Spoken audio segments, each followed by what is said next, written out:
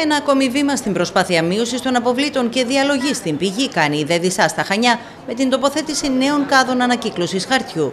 Πρόκειται για ένα εγχείρημα περιορισμού των ανακυκλώσιμων υλικών που στην προκειμένη περίπτωση απευθύνεται σε μαθητές και σε πολίτες που βρίσκονται είτε σε σχολικές μονάδες και χώρους άθλησης, είτε σε δημόσιες υπηρεσίες και δημοτικά πάρκα. Προχωράμε με την ε, διακριτή πλέον συλλογή των συσκευασιών ανά υλικό και αναρεύμα και όχι με τη συγκέντρωση των συσκευασιών, όλων των συσκευασιών στον μπλε κάδο όπως προγενέστερα. Έχουμε ήδη τοποθετήσει 18 συστοιχίες και αναμένουμε άλλες 20 και λέγοντας συστοιχίες εννοούμε αυτές τις νησίδες ανακύκλωσης. Πλέον υπάρχουν τρεις διαφορετικοί κάδοι ανακύκλωσης χαρτιού για τρία ρεύματα υποδοχής. Στο πρώτο ρεύμα έντυπου χαρτιού και χάρτινων συσκευασιών, στο δεύτερο ρεύμα συσκευασιών τετραπάκ και στο τρίτο ρεύμα πλαστικές και μεταλλικές συσκευασίες.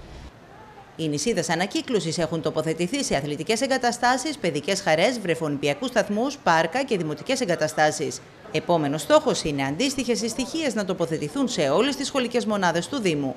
Το χαρτί και το χαρτόνι και οι χάρτινες συσκευασίες είναι ένα τμήμα των ανακυκλώσιμων υλικών. Όμως, καταλαμβάνουν ένα ε, σημαντικό και μεγάλο ποσοστό στο σύνολο των αστικών στερεών αποβλήτων που ανέρχεται στο 20%, που αυτό στο Δήμο Χανίων αποτυπώνεται σε 16.000 περίπου τόνους, με το έντυπο, μόνο το έντυπο χαρτί να προσεγγίζει το 7%. Στο μεταξύ ολοκληρώθηκε η τοποθέτηση νέων μπλεκάδων με κίτρινο καπάκι σε 18 σχολικά συγκροτήματα και σχολικές μονάδες της πόλης.